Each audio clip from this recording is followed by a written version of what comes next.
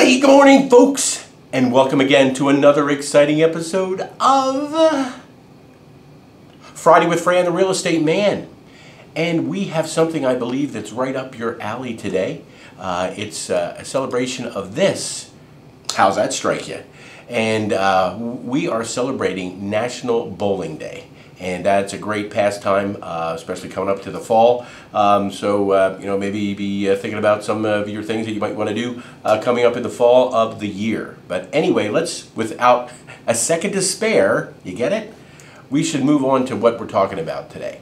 Now this may say buyers get 7% appreciation, but sellers, just think when you go out to buy your new home, after you sell your home for 7% more than you did even if you bought it just last year.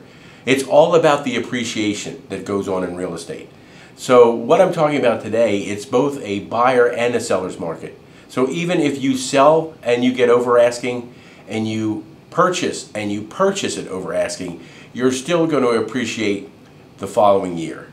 Um, and now the question is about interest rates. Well, with appreciation factored in there, uh, I want to tell you, you don't really want to wait.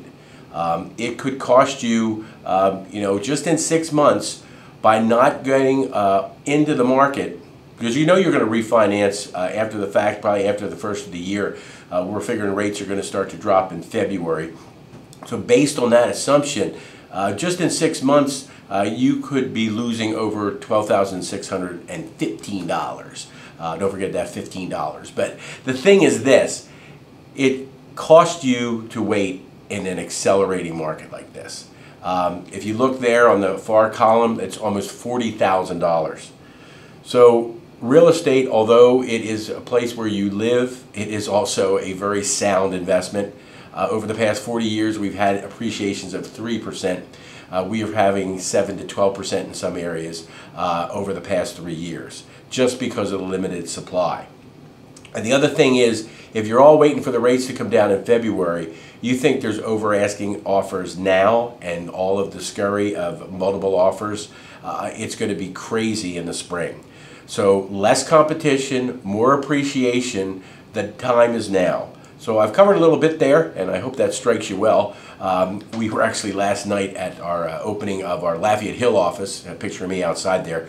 Um, but anyway, I just want to tell you, hey, have a great weekend, and now is the time. Don't even wait for the fall market. It's, it's, it's, it's evolving as we go. It's all about appreciation.